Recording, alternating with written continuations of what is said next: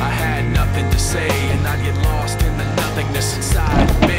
I was confused, and I let it.